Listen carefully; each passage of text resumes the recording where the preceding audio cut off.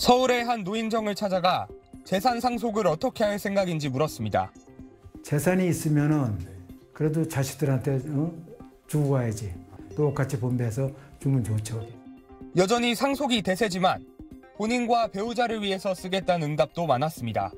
배우자 고치 노후 준비하지 애들한테 옛날 옛날 개념 같아요 그거는 앞으로 노후를 생각해가지고 이제 모아가면서 우리들 위해서 건강 지켜가면서 써야 된다고. 정부가 3년마다 발표하는 노인 실태조사에서도 이런 세태가 확인됐습니다. 65세 이상인 노인 만여 명을 대상으로 지난해 면접 조사한 결과 재산 상속 방식에 대해 절반 이상의 응답자는 모든 자녀에게 골고루 상속하겠다고 답했습니다. 그 뒤를 이은 건 자신과 배우자를 위해 쓰겠다는 응답으로 전체의 24.2%에 이릅니다. 이런 응답의 비율은 2008년 첫 조사 땐 9%에 그쳤는데 15년 만에 20%를 넘어섰습니다.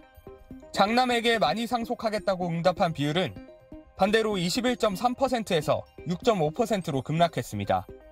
현재 65세에서 68세인 베이비 부머 세대가 전체 노인의 28%를 차지하는 점이 조사 결과에 영향을 미쳤다는 분석입니다. 상속보다는 길어진 노년기에 본인의 건강하고 활기찬 노년 또는 웰 다잉을 추구하는 데 사용하겠다는 노인 비율이 점진적으로 증가하고 있다고. 조사 대상인 노인 스스로 노인이라고 생각하는 연령의 기준은 평균 71.6세로 지난 조사 때보다 1.1세 높아졌습니다.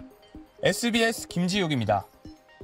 권 기자 노년 일자리에 대한 새로운 조사가 나왔네요. 네. 은퇴한 뒤에도 일을 쭉 하고 싶어하는 사람들 얼마나 많던가요?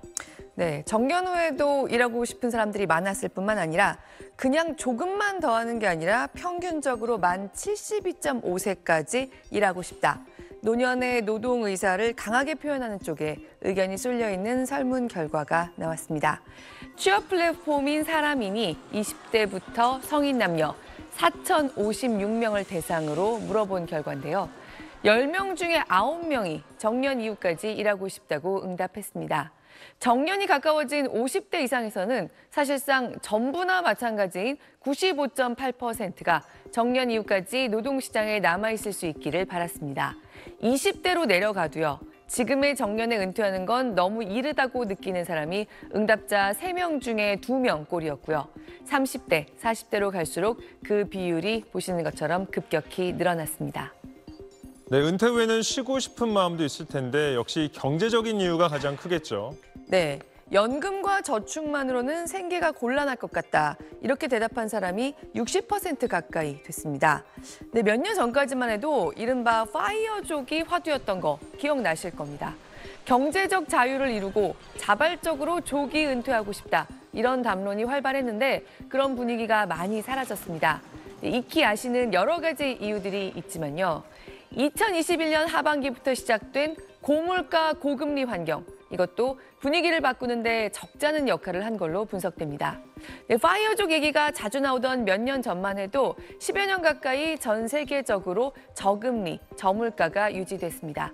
네, 선진국들은 대체로 고령 사회가 되고 있으니 노년의 삶을 준비하는 사람들이 연금은 더 많이 붙고 저축이 늘어날 거다. 그리고 노인들이 소비는 별로 안 할 거다. 그럼 이제 인플레는 사라지는 건가? 이런 담론까지 제기되기도 했습니다. 그런데 최근 몇 년간 급격한 고물가를 다시 경험하면서 60세 이후에 수십 년을 더 살아야 하는데 연금과 저축만으론 역시 불안하다. 이런 심리가 커진 면이 있는 걸로 분석됩니다. 지난 3년간 부의 쏠림 현상이 심화된 것도 또 하나의 이유로 볼 수 있습니다.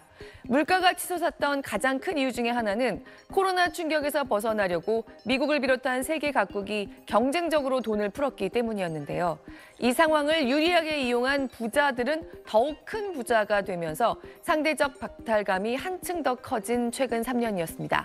네, 오늘 보여드리고 있는 설문에서 노년까지 일을 하려는 이유에 대해 복수응답으로 여러 가지 대답을 받았습니다.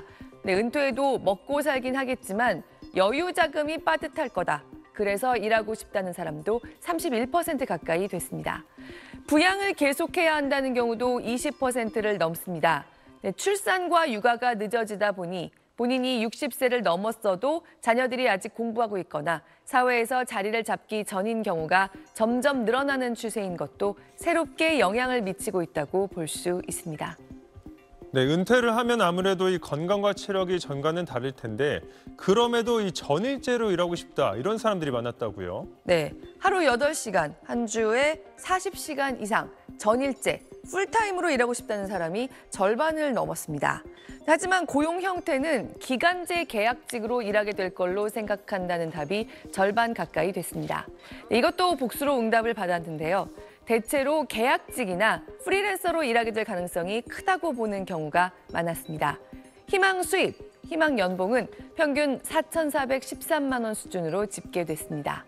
네, 현실적으로 이런 분위기다 보니 아무래도 정년 연장을 기대하는 응답이 대부분이었습니다. 20대부터 50대 이상까지 응답자의 84% 이상이 정년 연장을 기대했습니다. 건강하게 오래 사는 사람이 많다는 이유가 제일 컸지만요. 연금 고갈이나 인구 감소에 대한 불안을 이유로 꼽는 응답자도 적지 않았습니다. 65세 이상 인구가 20%를 넘는 초고령 사회로 우리는 내년에 진입하게 될 겁니다. 정년 연장을 비롯한 계속 고용 제도가 최근에 활발하게 논의되고 있죠. 국민연금 개혁과 더불어서 가장 치밀하게 설계하고 조정해 나가야 할 장기 정책이기 때문에 더더욱 딱 지금 첫 단추 단계가 중요하다고 할 수 있습니다. 네, 권 기자 오늘도 잘 들었습니다.